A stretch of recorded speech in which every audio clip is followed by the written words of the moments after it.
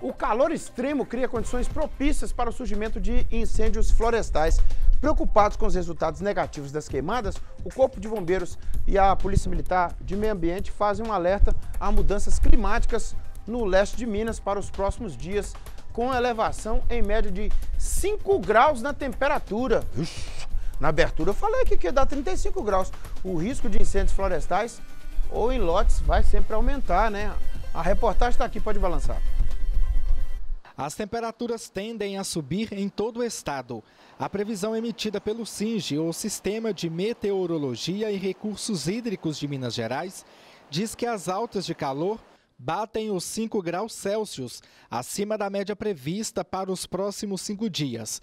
A alteração climática deixa em alerta instituições ambientais e o Corpo de Bombeiros sobre o risco de incêndios florestais. Como a temperatura vai subir, o tempo começa a ficar mais seco, né? a umidade fica mais baixa relativa do ar, então isso tende a aumentar um pouco os incêndios florestais. Então nós temos né, divulgado em nossas campanhas, temos feito né, prevenção e, e, orientamos a população a tomar muito cuidado em relação a colocar fogo no lixo, por exemplo, que é uma das causas aí dos incêndios.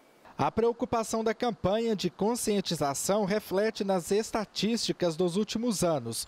Os militares do Corpo de Bombeiros recebem muitas chamadas via telefone para combater incêndio, tanto na área urbana quanto na zona rural.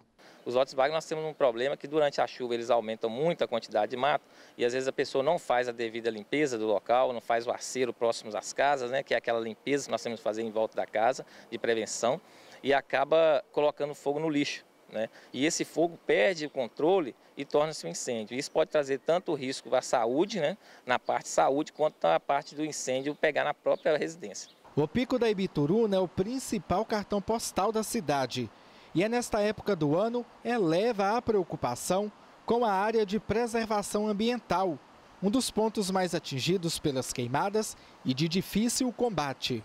Os incêndios são mais comuns em período de vegetações mais secas, estiagem e baixa umidade do ar.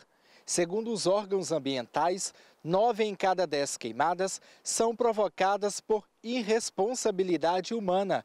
E a pena prevista para quem causar incêndio florestal é de três a seis anos de reclusão e multa. O tenente da Polícia Militar de Meio Ambiente explica que as fiscalizações são intensificadas nas zonas rurais, com o objetivo de informar as comunidades sobre como evitar incêndios.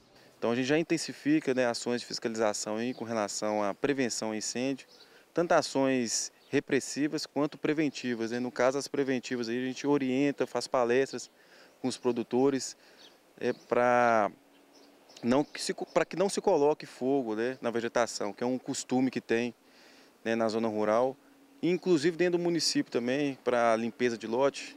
Né, alguns proprietários eles colocam fogo, né, que é mais barato, mas é, é uma prática que pode ensejar em questão de crime e também infração administrativa, né, recebendo aí uma, uma multa.